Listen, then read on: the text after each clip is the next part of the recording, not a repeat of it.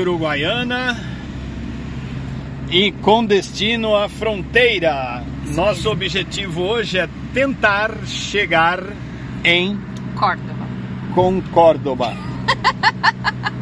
É Concórdia, né? Mas como eu gosto de 300 concordiar metros. com ela, como eu gosto de concordiar, eu não gosto de discordiar dela, então eu não vou falar que não é Córdoba. Ela falou que é, então é. Então pronto, é Córdoba. Aí pra gente não se confundir, a gente vai pra onde? Com Córdoba, não é isso? Isso. Que é uma mistura de concórdia, que é, o É, certo, isso. com Córdoba, que é o que você eu, quer. Eu errei já todas as vezes que eu fui falar. Então tá bom. Seguimos aqui, ó. Estamos no centrão de Uruguaiana aqui, ó, rodoviária de Uruguaiana ao fundo. Vamos pegar a direita aqui Tem para ir até aqui, para ir até a fronteira com a Argentina, Passo de los Libres. Tem vídeo nosso aí de Passo de los Libres, hein? Se você quer conhecer Passo de los Libres, porque hoje nós só vamos passar por los. Libres. Nós não Exatamente. vamos parar. Então, quem quiser ver, tem vídeo aí no canal de Passo de los Libres com um carnaval muito legal. Só tem uma coisa Quer ir pra pra falar. Argentina? Quero, quero, quero. Só tem uma coisa pra falar. Vem com a gente que vai ter coisa muito legal. Ai, está só começando. Oi, boa tarde. Só uma pergunta, por favor. A gente vai fazer a entrada é, para Argentina? Isso, só que. Isso, ó, como que faço? Estaciona lá do lado dos carros lá. Ali? É. Aí vem uma pessoa com os documentos e documento do veículo. Tá. Então vamos lá. Documento do veículo com a carta verde Os passaportes. e os passaportes vamos pegar aqui. Ele tá sempre caindo aqui, ele não quer parar. Peraí. Pronto, eu tava na outra lente e tava filmando Tava bem ruim. os pelos do seu nariz. Hum, daí não, né? Ó, então vou vai pegar lá. os passaportes aqui, o documento do carro, carta verde. Já vem. Tá. Vai até o corredor ali à direita. Muito obrigada, viu? Aí a Tati já foi lá. Pelo jeito já deu a saída no Brasil, porque tá toda felizinha, né? Você estaciona o carro lá, ó, e depois vai resolver lá fazer a saída do Brasil. Saímos do Brasil? Saímos. Só tô tentando ver onde é que tá o carimbo que eu não sei. Aqui. Não. 6 de julho. 17 do Eita. 6 de 24. Ah, então é aqui, esse ó. aqui. Então seguimos? Seguimos, já Vamos estamos para fora. la tierra de los hermanos. Eu achei um pouco falho isso, desculpa. Por quê? Porque eu dei a saída do Brasil na pessoa Luiz, Hum, sem eu estar junto. sem você estar junto. Então, tipo assim, eu tô, entre aspas, tirando uma pessoa do Brasil, que eles não sabem se tô tirando mesmo. Esquisito, é meio falho, né? Esquisito, meio né? falho. É, Tanta segurança no passaporte, com foto É, e é. tal, não sei o quê. meio e- falho. Mas, toma, Tê. Dá os documentos que você vai dirigir.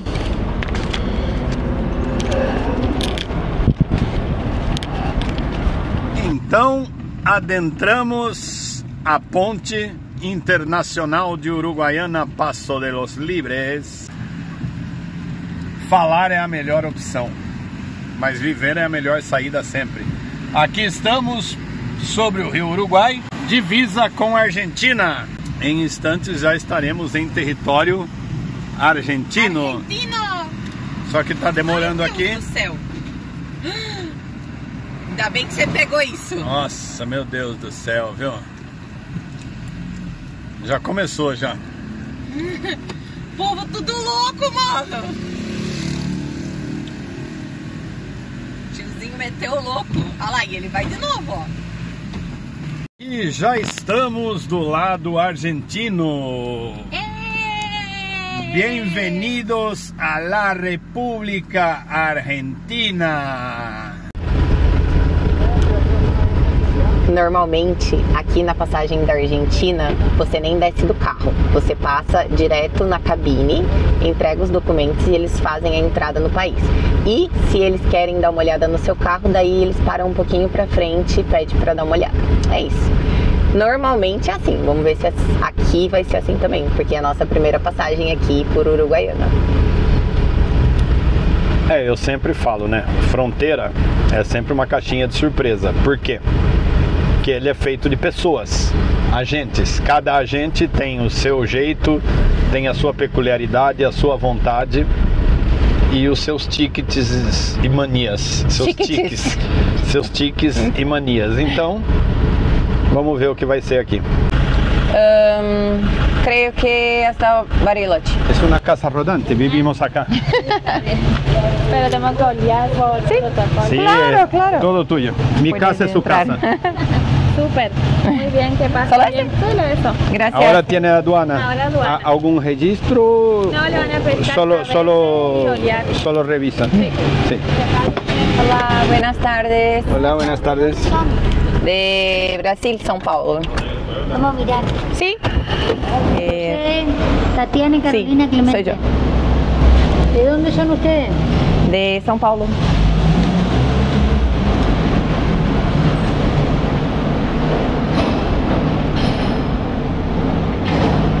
¿Carta verde? Acá, abajo. ¿Hasta dónde van? Mm, creo que Bariloche, eh, después Chile, para arriba. Hasta Venezuela. Año, año pasado pasamos 10 meses acá en Argentina, hasta Ushuaia. Bajamos por la 40 y subimos todo, por la 3. toda Argentina. Lindo, lindo, lindo. Argentina nos encanta mucho. ¿Siempre hacen estos viajes? Sí, sí. Sí, Bueno, listo. somos Muchas casi gracias. argentinos. Sí, vivimos acá, no tenemos más casa fija. ¿no? Sí. Ah, un año y, me- y medio. Un año y medio. Ahora, Muchas cuando gracias. fuimos a Bariloche, fuimos en verano, 38 grados. No disfrutamos lo gracias. invierno. Ahora vamos. Chao, suerte. Muchas gracias. Que Deus le bendiga. E olha aqui que a gente já, de cara, 39. foi fazer o câmbio, pegamos uma nova nota aqui de 10 mil pesos. 40, falta 10. 10 mil pesos. Eu não tinha pego a de 2 mil. Olha lá, tá, tá pegando a de 2 mil aqui, ó. Na outra temporada nossa a gente não tinha pego a de 2 mil. Agora nós pegamos a de 10 mil. 50. Já trocamos La Plata. Agora estamos indo puede- comprar uma- Você pode falar mais. Sí, ahora, ahora, ahora solo español. Nada. Ahora solo español nada más porque estamos en la tierra argentina. Las Malvinas son argentinas. Entonces ahora vamos a buscar un repuestos que ya pasamos de la otra vez para que podamos comprar las fallas reflectivas. Debe ser así. Si no, si no sabe cómo se habla, habla en portugués con acento español. É, ou então num diminutivo. Fatita. Fachita, refletita, ala, o repuesto. Mira, ¿te acuerdas? No, lá, Ah, adelante. é verdade. ¿Te acuerdas? Sim. Você passou aqui por Passo de los Libres, você entra à direita, logo na rotatória lá, tem uma placa Buenos Aires Passo de los Libres. E você entra aqui sentido a cidade, que logo aqui na você vai ter essa loja de repostos aqui. Aí você vai encontrar aqueles kitzinho com triângulo, tal, tudo que você precisa. É aqui o esquema. Então vamos lá ver. E é uma pena, porque hoje é dia de Güemes. É um herói aqui da Argentina. Hoje é dia de Güemes e o comércio está cerrado. Rica, Tati? Tô rica. Olha só. Aí é o que eu falo, a parte que eu falo que eu casei por interesse, ó.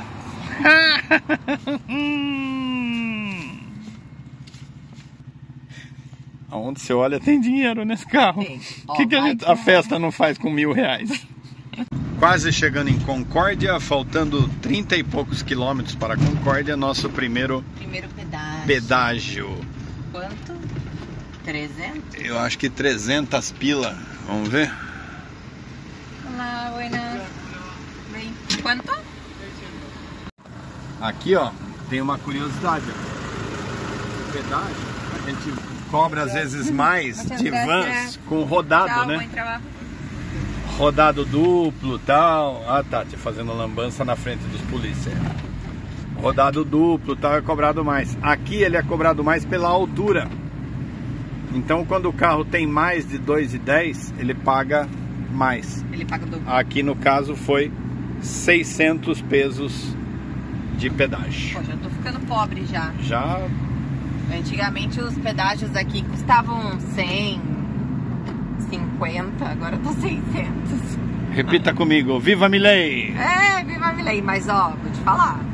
Pra gente, pra nós brasileiros, tá ficando pior. Por quê? Porque a, a moeda deles tá valorizando. Mas pra eles começa a ficar melhor, né? Então bora, sentido aqui, Concórdia. A pistinha depois que nós saímos de lá da, daquela rotatória lá começou a ficar ruim, né? Tava melhor. Agora parece que piorou. Tava ruim, agora parece que piorou. Polícia Camineira de Entre Rios. Eles vão parar a gente. É claro. Hola, buenas tardes. ah, ah, de Brasil hasta um, Hoy hasta Concórdia. Concórdia. Sim, turismo. Tchau. Muy amable usted. Eu ia falar Córdoba de novo. Mano, a gente precisa passar isso logo. Eu não travei não falar em espanhol. Eu travei não falar a cidade, que eu ia falar Córdoba de novo. A gente acabou de entrar aqui na Argentina, né? E aí, o Luiz viu uma placa. Uma placa escrito o quê, Luizinho? Choripan. A gente vai ter que parar, né? Vamos ver o que temos. Vamos saber. E nem bem entramos, duas horas de Argentina, olha quem aparece. Fernet com coca.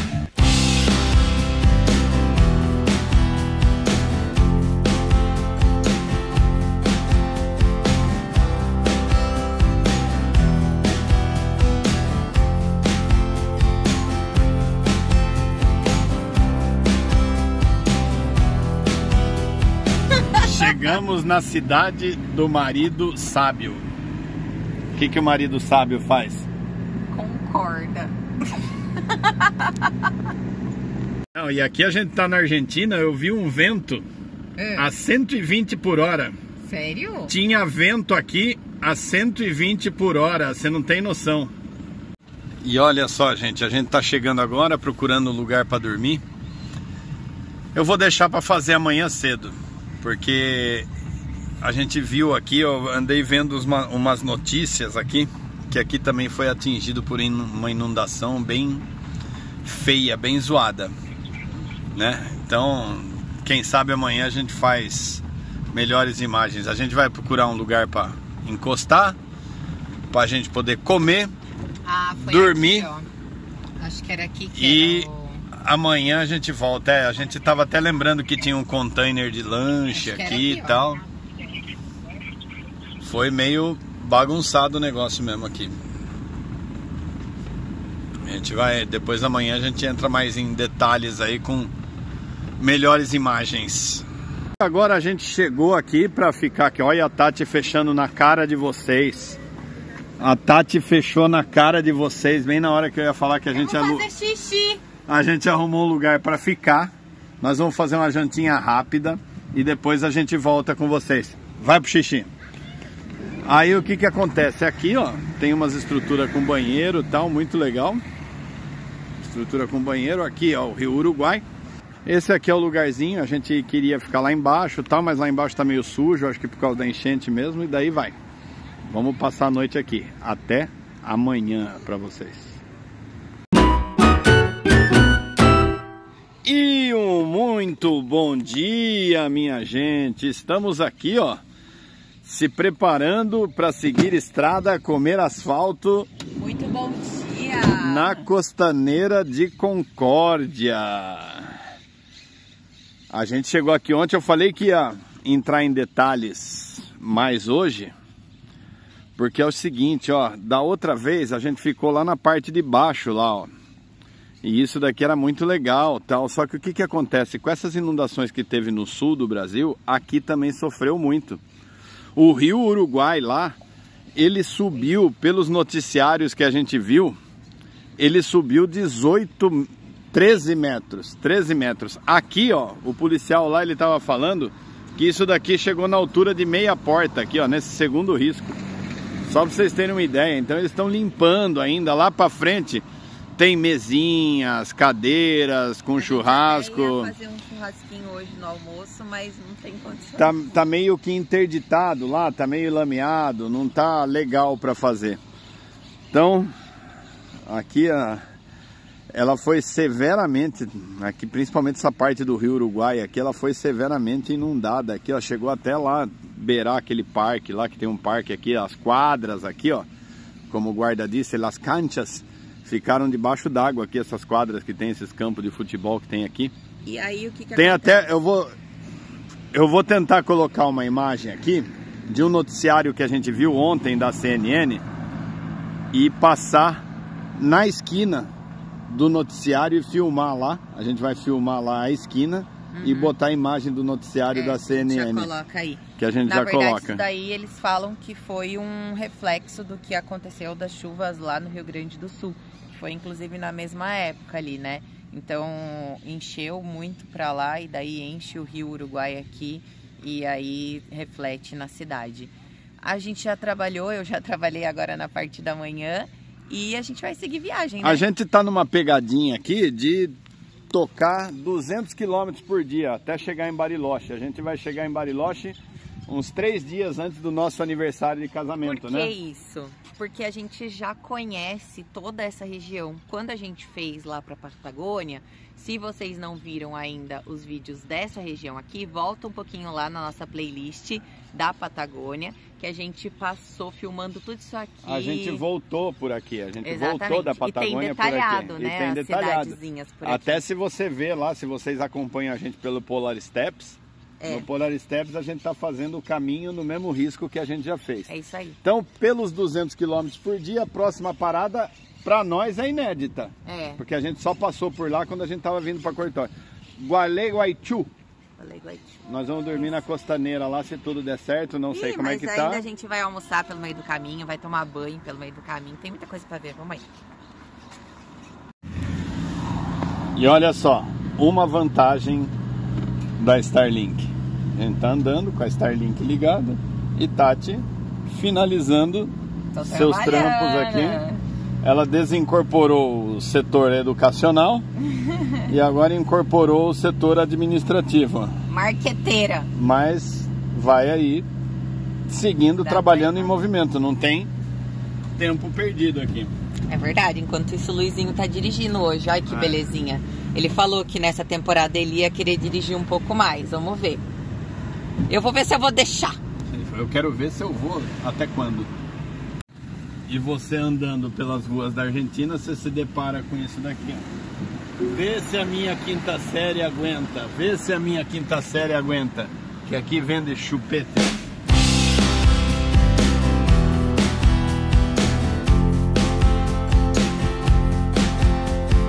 E a gente quase chegando aqui em Galegaichu. Paramos aqui num posto. Aí eu vi uma placa que me chamou. Sanduíche de milanesa. 4.500 pesos. Aí nós vamos pedir um. Com algumas empanadinhas. 5.900 pesos. Duas empanadas de carne. Pediu? Duas empanadas de carne e uma milanesa. Deu 5.900. É, dá 24 reais. Ah, não pode falar, né? Desculpa. Eu ponho na edição depois. Parece que nunca viajou pra fora. Meu Deus do céu. E ainda bem que a gente já tá comedido e pediu uma pra nós dois, né? Então é assim, a gente tava tudo previsto pra gente pegar, rodar 200 quilômetros hoje de Concórdia até Gualeguaichu, onde a gente ia encostar, tomar um banho dormir. E amanhã a gente ia seguir. Só que daí eu ouvi uma voz me dizendo: Eu não quero ficar aqui, pode tocar pra frente, tá cedo ainda. Então a gente tá tocando. Rumo a Buenos Aires. Onde a gente vai? Não sei. Mas essa voz soprou no meu ouvido e eu resolvo seguir esses instintos. Eu tô Lembra aproveitando. A gente saiu da cidade do homem obediente. Aham, concorda. Concórdia. Então, por que ela quer? Não sei, mas ela falou, não quero, vambora, vambora. Eu tô aproveitando que você que tá dirigindo hoje, fazendo você dirigir mais. É, trabalho escravo. Ó aqui meu pezinho, ó. Ó. Vê se pode. Eu tô com o pé pra cima, só trabalhando. E Luizinho que tá dirigindo hoje. Bora, pessoal. Nós estamos saindo da província de Entre Rios e entrando na província de Buenos Aires. Não é a cidade de Buenos Aires. É o estado de Buenos Aires. E aí você pega essa ponte enorme aqui. Sobre o rio Paranaguaçu. Isso, Essa exatamente. ponte nós fizemos de lá pra cá, né? Agora nós estamos fazendo de revés. É, daqui pra lá. Aqui uma curiosidade, né? Pra frente aqui vai ser a cidade de Zarat. Zarat é um porto muito conhecido por importação e exportação automobilística. Então muita gente despacha carro, recebe carro e tal de outros continentes e tal pelo porto de Zarat. Que é aqui um pouco mais pra frente, quase Buenos Aires. Quando você tem que mandar o seu carro daqui para qualquer outro continente, você manda aqui de Zara. Quando falam Buenos Aires, é aqui em Zarat. Né? Olha que bonita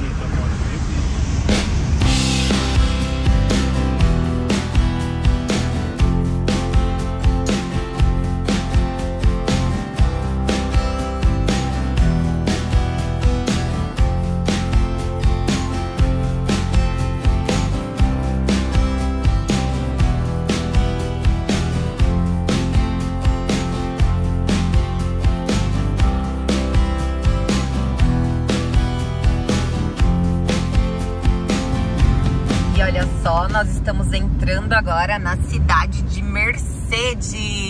Mercedes Sosa? Não. Cidade de Mercedes. Buscamos agora mais um fracasso para nossa coleção. E ó, vou falar, a gente tá há mais de 30 dias já em viagem e a gente só conseguiu tomar banho fora do motorhome, hein? É A verdade. gente não tomou banho aqui dentro nem um dia. É. Também devo agradecer a, vamos lá, primeiramente, Jomar, Jaine, Rogério, Nilza. Rogério e Nilza, todo o pessoal aí que acolheu a gente durante a estrada aqui, ó, É, pra gente tomar banho. A Nica, é, o, o, Yuri, David. Tubarão, o David.